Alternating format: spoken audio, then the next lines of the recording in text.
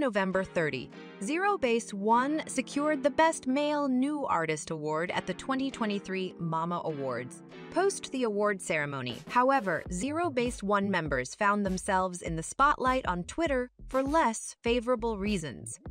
According to some fans, the members engaged in a live stream with fans for a mere two minutes before departing.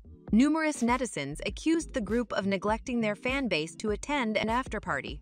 While some fans came to the group's defense, asserting that criticism was uncalled for, particularly given the group's association with the CJ Group, owner of Mnet, others expressed the view that, irrespective of the after-party, a two-minute live stream was too short, considering the group's big win that night.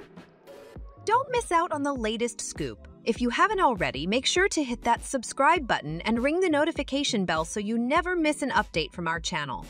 Don't forget to give us a thumbs up and share your thoughts in the comments below. Thanks for tuning in.